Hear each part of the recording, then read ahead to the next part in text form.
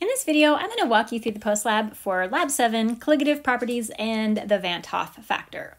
The first problem is data that you took while you were measuring the freezing point of cyclohexane. In the lab, you measured the mass of an empty piece of glassware, and then you put some cyclohexane in it and remeasured the mass again. In this first box, uh, or third box, I guess, you'll be calculating the mass of the cyclohexane, which is going to be the difference between the empty glassware and the glassware with the cyclohexane in it. Then in this next spot, you will be reporting from lab the freezing point of cyclohexane that you measured. So this is the experimentally determined freezing point. Again, this is the number that you measured in lab. In this spot, you will be looking up the freezing point of cyclohexane. This is a number that you're going to get either from your textbook or the internet. So you'll just need to do a Google search on that. I do want to kind of point out when you're looking this up, the freezing point is exactly the same thing as the melting point. So you might find a freezing point for cyclohexane or you might find a a melting point for cyclohexane, they are exactly the same thing. Freezing is when we have a liquid that's turning into a solid. Melting is when we have a solid turning into a liquid. And both of these transitions, of course, take place at the exact same temperature. So if you find it written as a melting point, don't worry, that's the exact same thing. Down here, you're going to calculate your percent error. The percent error uh, instructions are in this spot down below. It is the difference between the actual freezing point, that's going to be the number you look up, the experimentally determined freezing point, that's going to be the number you measured, and you'll divide that by the actual freezing point, again, the number that you look up, multiply it by 100 to express it as a percent. Now in the, the next um, part of the experiment, you put a solid in the cyclohexane and you remeasured the freezing point. So you're going to take this mass of cyclohexane, whatever this number is right here, and we're actually going to copy it to the next data table. So whatever this number is, it is going to get copied into this spot right here. The mass of cyclohexane, um, your post lab says that it is from problem number one, goes into this spot. You also had that unknown solid, you weighed it out on the balance, so you're going to have a mass of that as well. And then um, the mass of the cyclohexane solvent, this is calculated by taking the mass of the cyclohexane in grams and converting it to kilograms. So this is a gram to kilogram conversion where we're just simply using this mass of cyclohexane and converting it into kilograms. I do want to emphasize that this is only the mass of the cyclohexane. We're not including the mass of the unknown in this particular part. The KF for cyclohexane, this is a number that I want you to look up, even though I didn't write that down on the post lab. Look that up in your textbook or on the internet. Copy it because remember, this is a constant. We're not trying to figure out what it is. The freezing point of the solution, this is a number that you measured when you did the experiment, so you're going to write that number down. The actual freezing point of cyclohexane, well, we've already looked that up once. That's going to be this number right here, whatever you've already looked up. You're going to copy it in this spot, the value from the textbook or the internet. Now in this spot, you're going to calculate the change or the difference in the freezing point. This is going to be the difference between the freezing point of your solution and the freezing point of pure cyclohexane. And you want to make sure that this is an absolute value again, so you want this to be a positive number, not a negative number. We're going to calculate the molality of the solution using the freezing point depression equation. So we're going to derive this from the equation delta TF equals KF little m. And in this situation, the molality is the thing that we don't know. So I'm going to rearrange this equation right here. We're going to calculate the molality by taking the change to the freezing point and dividing it by the freezing point constant. The change to the freezing point is calculated in this spot, and the freezing point Nope, that's wrong. The freezing point constant, you looked it up, it's right there. So that's going to give you the molality. Then you're going to use the molality to calculate the moles of the unknown sol solute. Remember that molality, little m, is calculated by taking the moles of the solute and dividing by the kilograms of the solvent. So if we're trying to calculate the moles of the solute, we want to rearrange this equation right here. Moles is going to be calculated, in this case, by taking the molality and multiplying it by the kilograms of the solvent.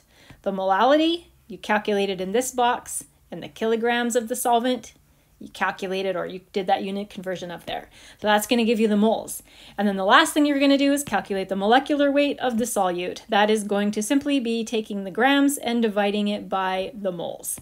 The grams are the mass of the unknown. So all the way up here and the moles you calculated in this spot right there.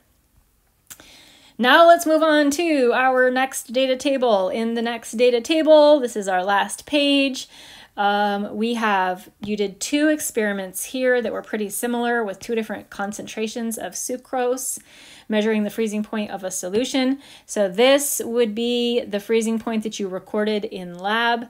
The actual freezing point of water you will look up on a textbook or the internet, or maybe you just happen to know that. And then you're going to calculate the change to the freezing point of water. This is going to be the difference between the freezing point of the solution and the freezing point of pure water that you looked up on the internet. That'll be the same for both of these boxes. In this experiment, we are experimentally determining the KF value of water. So that means that we are going to be taking the equation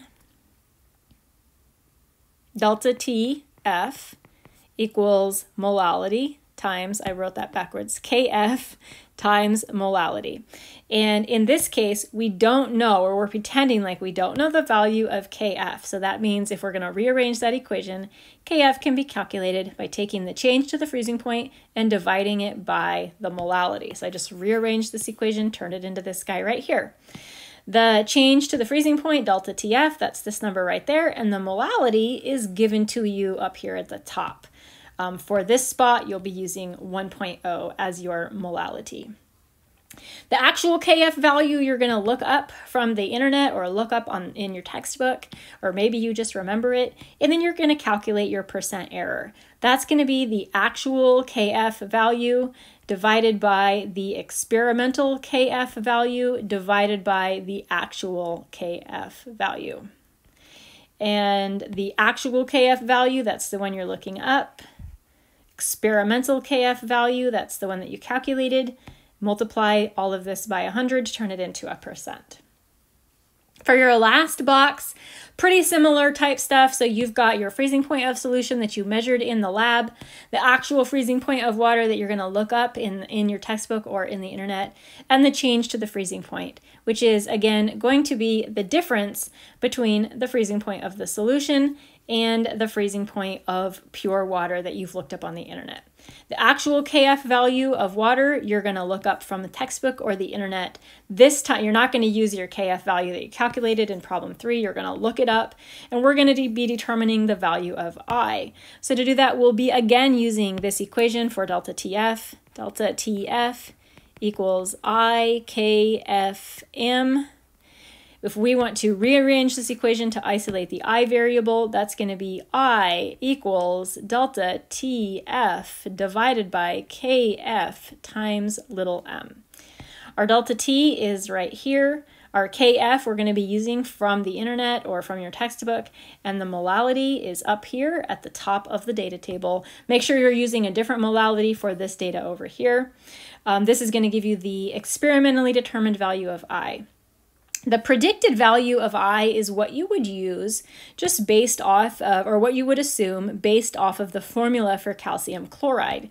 So just sort of looking in your notes about what is the definition of I and how do we predict the def or predict the value of I based on a molecular formula, CaCl2, what would you expect that I to be?